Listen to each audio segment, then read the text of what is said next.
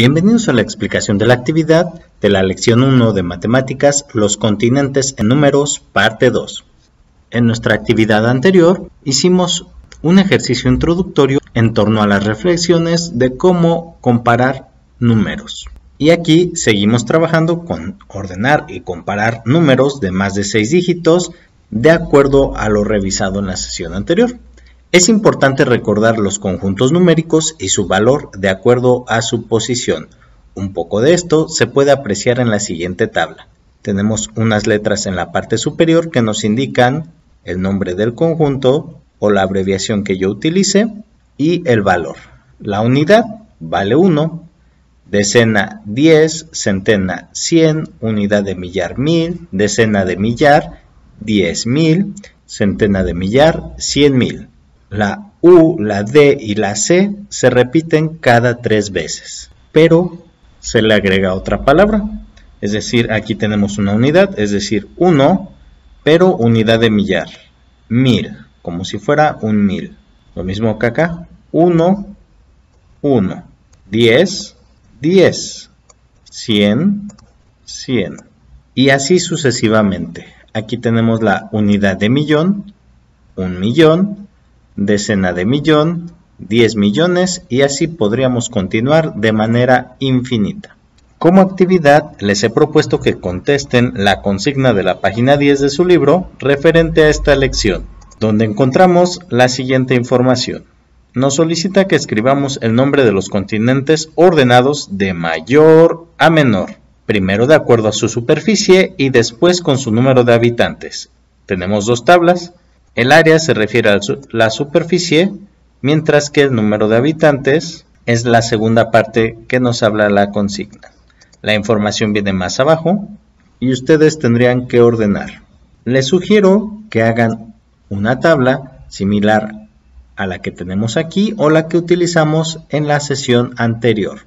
Si no recuerdan lo que hicimos en la sesión anterior, por aquí les dejo el enlace del video.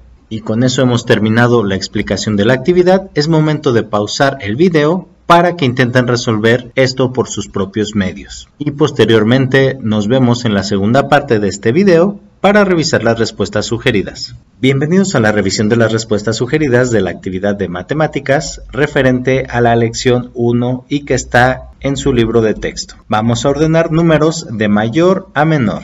Para eso necesitamos hacer un comparativo. Primero tenemos una tabla donde vamos a anotar las áreas de mayor a menor y después números de mayor a menor también, pero considerando el número de habitantes de cada continente. Para poder saber qué número es mayor necesitamos compararlos. Vamos a comenzar con el continente de América, el cual tiene 42.500.000 kilómetros cuadrados y anotado en la tabla quedaría de la siguiente forma. No hay unidades, tampoco decenas, centenas, tampoco, unidad de millar, decena de millar, centena de millar. En centena de millar tenemos 5, unidad de millón tenemos 2 y en decena de millón tenemos 4, es decir, 42 millones 500 mil. Lo mismo haremos con los demás continentes. Son 7 dígitos, por lo tanto usaré 7 espacios de mi tabla, contando de derecha a izquierda. 1, 2, 3, 4, 5, 6, 7. Quiere decir que Europa solamente tiene hasta unidades de millón. Continuamos en el orden que nos aparecen. Revisen que efectivamente estemos comparando el área o superficie del continente y no lo estemos confundiendo con los habitantes. África tiene en superficie un número representado por 8 dígitos. Entonces voy a tomar mis 8 espacios y voy a poner los datos correspondientes. Lo mismo haré con Asia y Oceanía. Una vez que he puesto todos los números en orden en nuestra tabla, Voy a maximizar la pantalla para que lo veamos de manera más clara. Recuerden que para comparar números necesitamos observar el conjunto de mayor valor. En este caso el conjunto de mayor valor son las decenas de millar y tenemos cuatro continentes que cumplen el requisito de tener decenas de millar. Tenemos 4, 3, 4 y 1. El valor máximo que encontramos es el 4, conformando un empate. Cuando el valor del conjunto máximo es el mismo, tendremos que irnos al segundo conjunto de mayor valor, en este caso las unidades de millar, y comparar el 2 respecto del 4. Aquí ya no son iguales, el 4 es mayor que el 2. Por lo tanto, Asia ocupa el primer puesto en extensión territorial, seguido de América, que ocupa el segundo puesto, ya que 4 será mayor que 3 y que 1. Continuando con esa comparación en decena de millar, ahora veremos quién ocupa el tercer puesto, ya sea África con tres decenas de millón o Antártida con una decena de millón. El 3 es mayor que 1, por lo que África está en nuestra tercera posición, mientras que la Antártida está en el cuarto lugar. Nos queda comparar Oceanía y Europa. Ninguno tiene decena de millón, por lo que utilizaremos el conjunto unidad de millón. Tenemos 9 respecto de 8, el número 9 es mayor, por lo que Europa ocupa la quinta posición y Oceanía el sexto lugar. Haremos el mismo proceso con la cantidad de habitantes. Vamos a recolectar los datos de habitantes, que es el segundo dato que aparece por continente, y notamos que ya no hay solamente 8 dígitos, sino puede llegar a tener 9 dígitos. 9 dígitos, 9 dígitos, 8 dígitos, increíblemente 10 dígitos. De antemano sabemos cuál es el mayor, el que tiene más dígitos, pero aún así lo pondremos en nuestra tabla. Ya he puesto los datos en mi tabla y agregamos un par de conjuntos.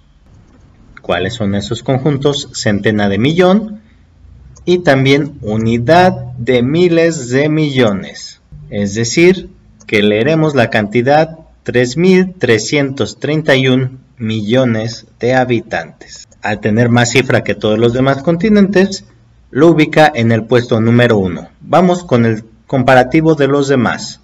Los demás no tienen unidad de miles de millones, pero sí tienen centena de millón.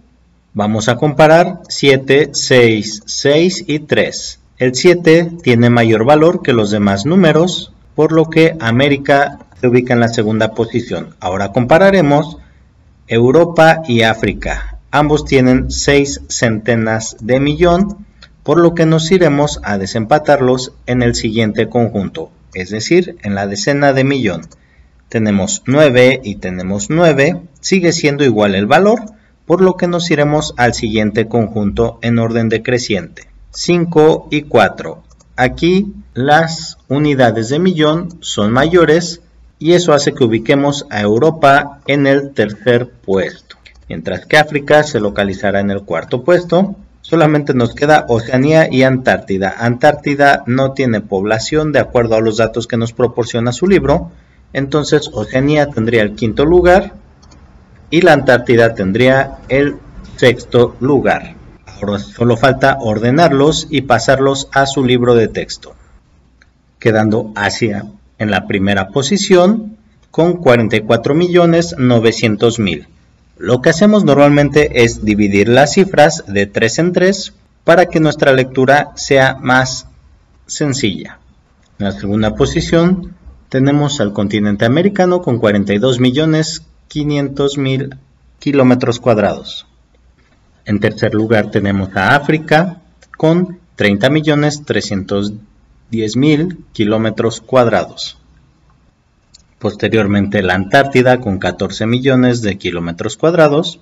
Ya no es necesario que yo ponga kilómetros cuadrados, puesto que todos los datos que pongan aquí deben ser kilómetros cuadrados.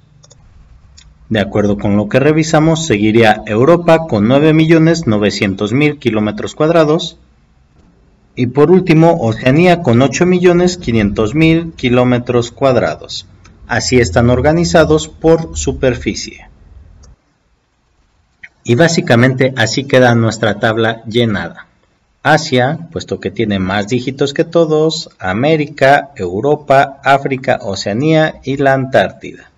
Con eso hemos terminado la revisión de las respuestas sugeridas. Espero el video haya sido de utilidad. Nos vemos en la próxima sesión.